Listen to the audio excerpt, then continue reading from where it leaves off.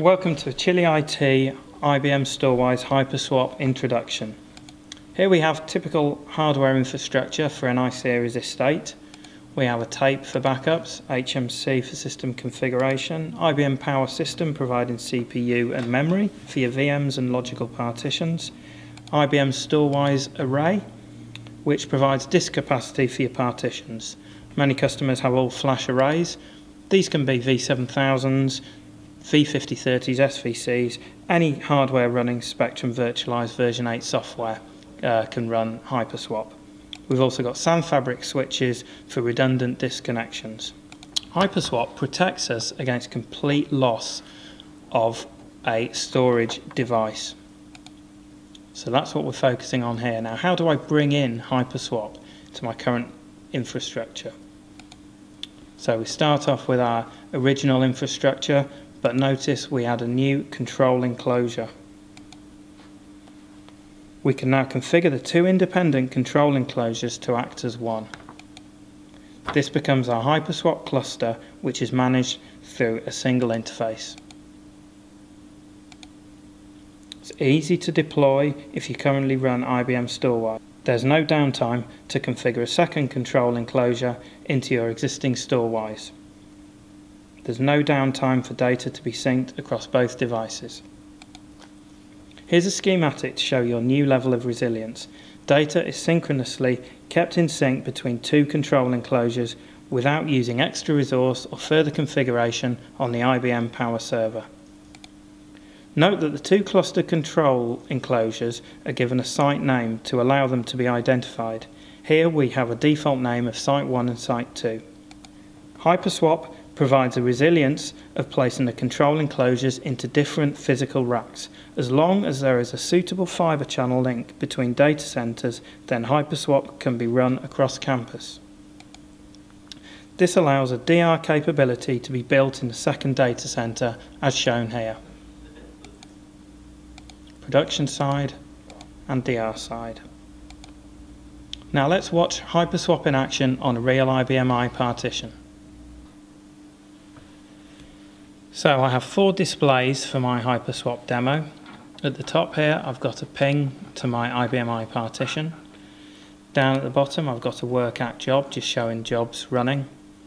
I've got the Storwize GUI and then down here I've got the system service tools. You'll notice that my partition has only two disks here but when I show you the active paths we'll see that there's actually eight paths presented by Hyperswap to the IBM I partition. There are two active paths and the rest are passive. What we'll see is the paths changing as Hyperswap kicks in when a control enclosure fails. So onto my Storwize GUI. Notice I've got two sites listed here. Each one of those has its own control enclosure when I go into the hosts section, it shows my IBM I partition in Site 1. So this determines the active paths when everything's looking good. So I'm now going to power off the control enclosure in Site 1 to demonstrate Hyperswap. So here's my control enclosure, power off enclosure, type in the confirmation code, and away we go as the enclosure powers down, the paths will change, but the system will stay active. So the enclosure has started to come down now, it's powering itself off. We see some errors showing that the enclosure is no longer available. I've got my active job still running and my ping is still running. Let's have a look now at the paths. So when I refresh this screen, we notice we have some failed paths. So I've still got my active paths, which is still on the same disks, but some of the paths have failed. This is the state as the control enclosure is coming down. I refresh again, and we notice that the Storwize GUI is now reporting that the enclosure is completely powered off. I refresh my paths, and we'll see those failing over to the two new paths. So the system is still active and my paths are failing over as we speak.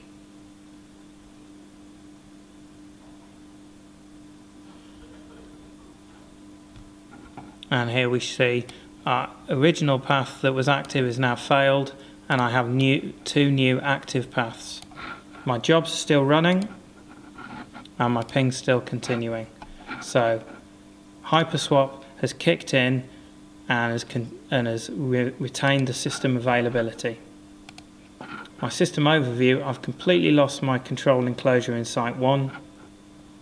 When I show my remote copy, it's showing now that I have my two relationships, they've been switched and my primary volumes are now the Site 2 volumes. So Hyperswap has kicked in and has failed over seamlessly while my jobs stay active.